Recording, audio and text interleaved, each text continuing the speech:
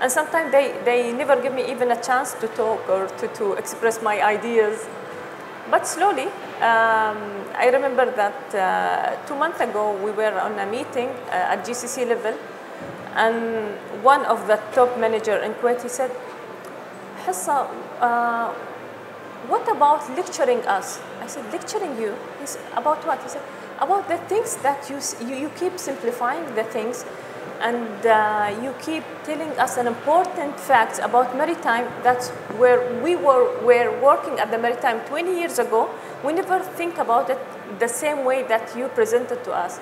So i believe this is the power of female that we think little bit different than males. I'm proud because uh, i was part of uh, you know the important uh, events in, in, in uh, rta uh, important events in, for the uae and um, always knocking new doors, always opening new doors. Uh, and that uh, requires lots of courage, actually, uh, in our society to knock new doors, not only for women, but even for men. So I went to my boss and asked, what's next? Now I want to go in the front line, which is sales and marketing. And I said, okay, I want to be a sales manager for marine lubricants. I said, he said, junior, too ambitious. I said, why not? Being ambitious made me to come here, so I want to go to the next level. He said, no, it's a male-dominated uh, industry. They will not look at any salesperson, female salesperson.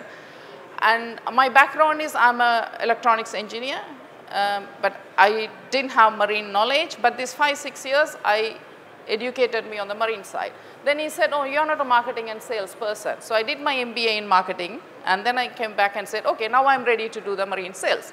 So because of my persistence, he gave me that opportunity with 100% confidence that I will run back, I will never do that. So they gave me a country, Bangladesh, where it's not a single woman employee you can see in any of the offices. When I entered the country, we had zero market share. Within two years, we had 100% market share of marine lubricants, that country.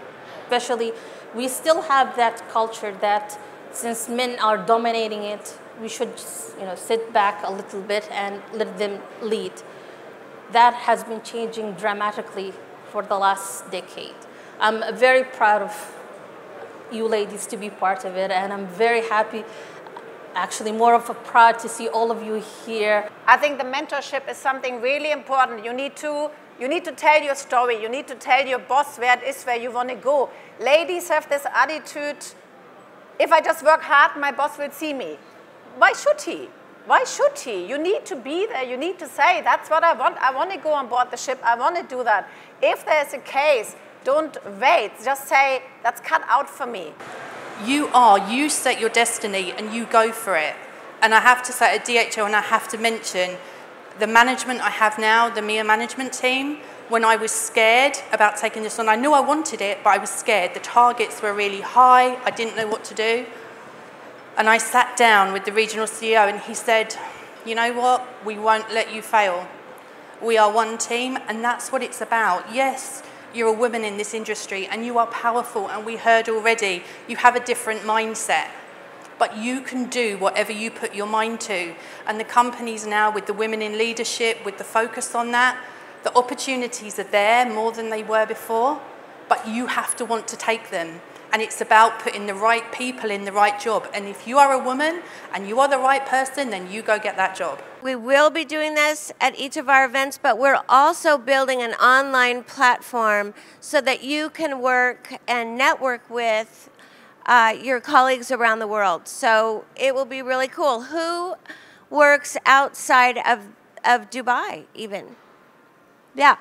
Who has had the um, need to find a colleague in a particular region outside your own. Yeah?